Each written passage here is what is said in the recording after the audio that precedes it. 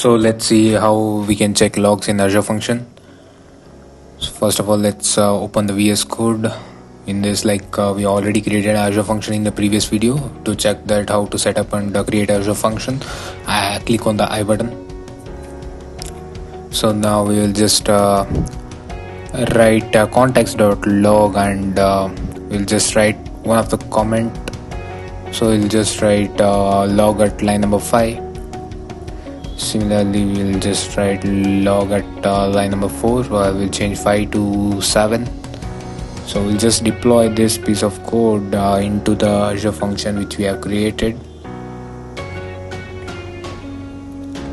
Click on the deploy and uh, so now we can come to azure azure uh, portal login and try to log in into the azure portal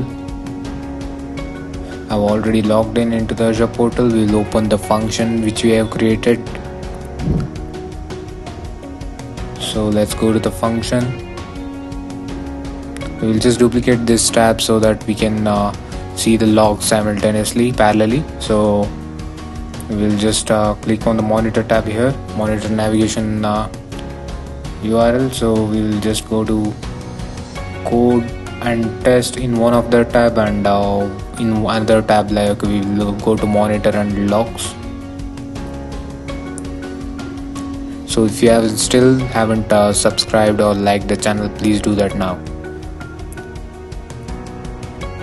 We'll just click on run and uh, we'll see the log. So we can see that the log at line number 4 and line number 7 has is getting printed. So by this way we can use the logs we can uh, see the logs. If there is any error and all you'll be able to see that over there in the log section.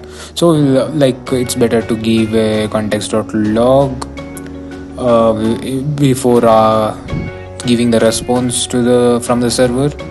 Uh, we will just print the uh, response message so that uh, we are sure that like even if it uh, is giving a wrong message in the logs we can check.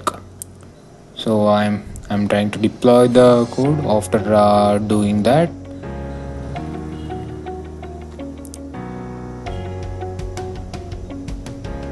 So it hardly takes some 10 to 20 seconds to deploy the azure functions.